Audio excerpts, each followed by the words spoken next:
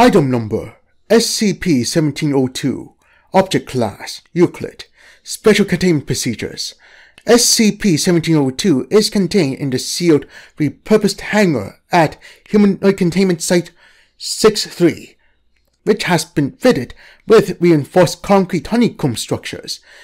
SCP-1702 is to be provided 500 kilograms of food and mineral supplement daily via automated delivery systems consisting of materials as outlined in document 17026.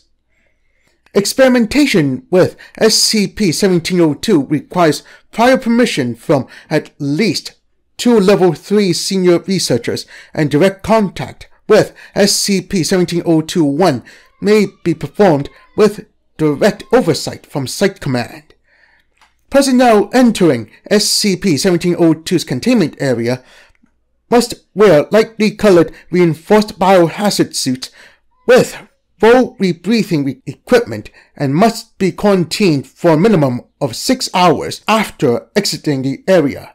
In case of aggression from SCP-1702 or at the discretion of operational oversight, SCP-1702's containment area is to be flooded with smoke, and all personnel must proceed directly to the nearest exit.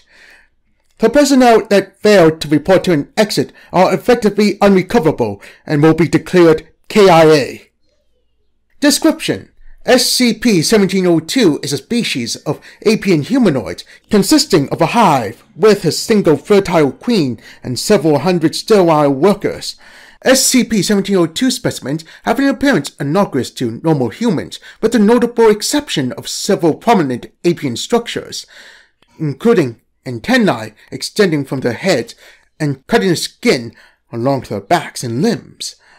SCP-1702 also have similar internal physiology with a notable addition of a compound stomach with a chamber capable of processing organic material and raw minerals into a substance resembling human bone that can then be regurgitated and used in hive construction and repairs.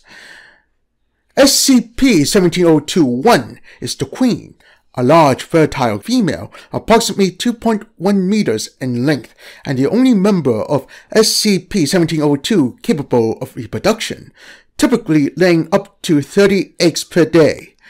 Highly intelligent, SCP-17021 is capable of communicating with personnel in a previously unknown dialect of French, and has proven highly cooperative as well as being the source of most of our knowledge regarding SCP-1702's behavior and hive mechanics.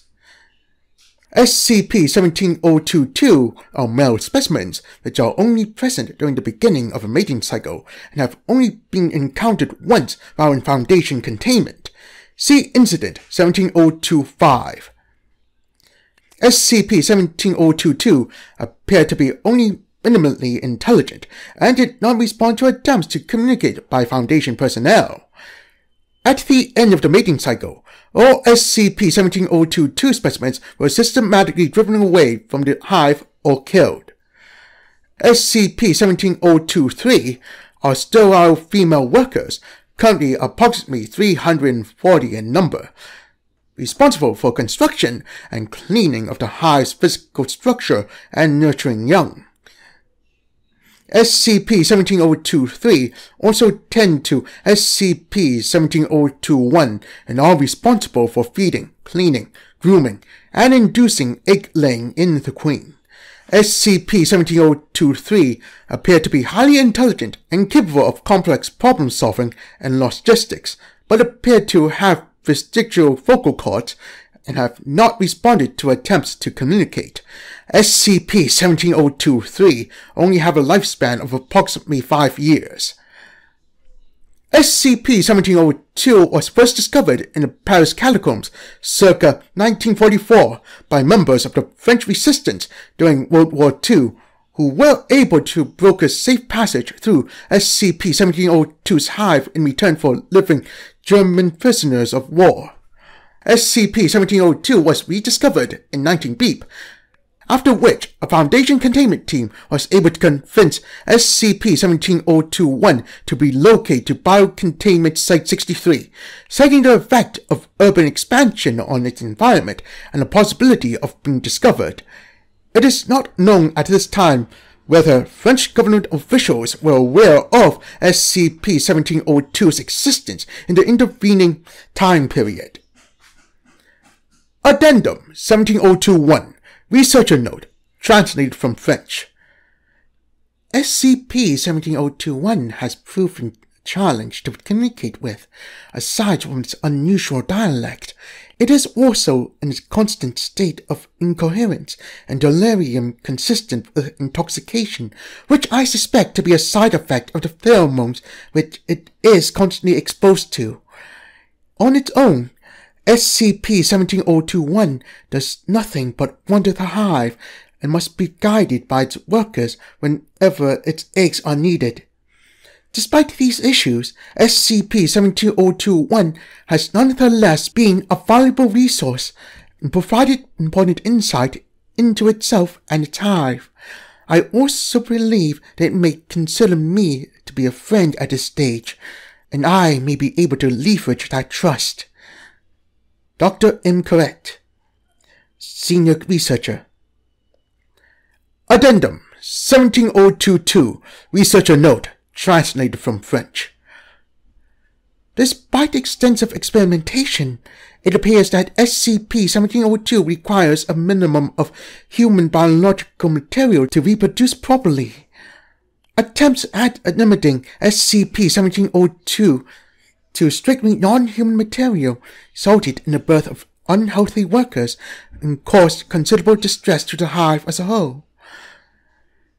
At the insistence of SCP-17021 and with oversight approval, SCP-1702 is to be provided a new diet as outlined in document 17026, which is to consist of no less than 5% human biological material processed from redacted, and only if absolutely necessary, terminated Class D personnel. Dr. M. Collette, Senior Researcher. Addendum 17023, Incident Report 17025. On beep, during contact conducted by Four personnel, including Dr. Collette and Dr. Beep, SCP-17021 reportedly entered a state of lucidity, during which it suddenly pleaded with the personnel to be rescued from its hive. SCP-17023 specimens tending to SCP-17021 then began to enter an aggressive state, which prompted oversight to terminate proceedings. Dr. Beep and Agent Beep were able to escape containment unharmed, but Dr. Collette and Agent Beep were unable to escape their containment area and were subsequently declared KIA.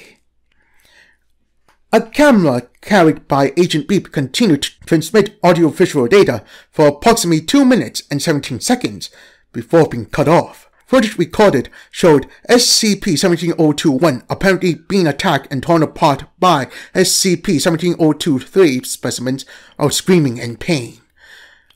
Addendum 17024, Incident Report 17026.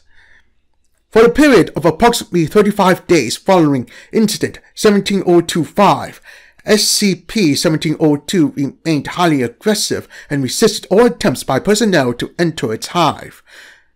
After SCP-1702 calmed down significantly for safe passage, two armed and armored personnel were dispatched into SCP-1702's containment area to investigate.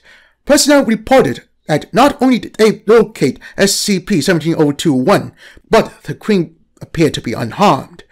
Recorded footage indicates that while the Queen has the exact same appearance, behavior, and personality, SCP-17021 no longer has any memory or recollection of events prior to Incident 17025. Addendum 17025 Researcher Note Just as in nature, SCP-1702's queen appears to be a prisoner of the hive. As long as she is perfect and productive, The workers will pamper and protect her, but the moment she comes damaged, they will turn and replace her. To the best of our knowledge, there's not the same queen anymore. Just a replacement crafted to be the same perfect ideal that the Hive expects and requires. That the tissue sample the containment team managed to procure shows a DNA match for Dr. Collette only reinforces this theory. Dr. Beep, Senior Researcher,